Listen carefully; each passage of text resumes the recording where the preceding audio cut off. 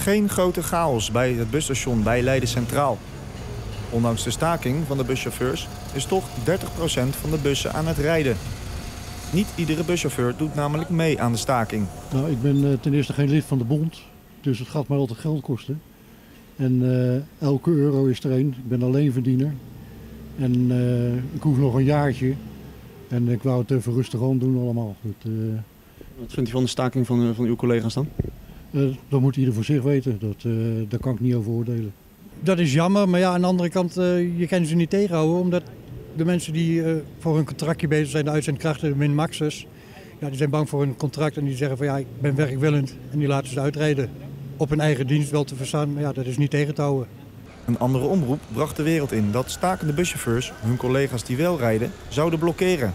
Blokkeren doen we niet aan, zoals op een andere site al werd vermeld. Ook niet geweest, gaat er ook niet komen, want je moet ook eh, de, na de stakingen weer met elkaar door één deur, deur kunnen. Nu zag ik net een eh, oud vrouwtje helemaal eh, op een leeg perron staan. Dat vond ik toch wel zielig. Wat vind je daarvan? Dat is jammer voor het oude vrouwtje, maar ja, aan de andere kant, als we niks aan de rijtijden doen, dan blijven ze nog veel vaker samen. Dat wordt allemaal steeds krapper. Je hebt geen tijd meer om te herstellen, je hebt geen buffertijd meer. Je, je rijdt gewoon continu achter de feiten aan. Nog wel veel onzekerheid dus voor de reizigers die alsnog een bus probeerden te pakken. U staat niet op de bus te wachten, maar weet u zeker dat hij komt? Eh, niet zeker. Hij staat wel op het bord. dus we gaan het zien. Ja, wat vindt u van de staking in het algemeen? Eh, ja, ze zullen hun redenen hebben.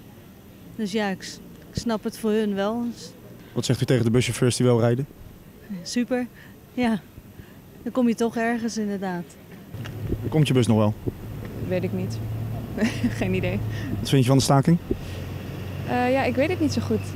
Ik, weet niet of het een manier is om, ja, om je punt duidelijk te maken als buschauffeur. Ik zou het eerder op een andere manier doen. Bijvoorbeeld de reizigers gratis meenemen of zo. Dat lijkt mij tenminste meer betekenis hebben.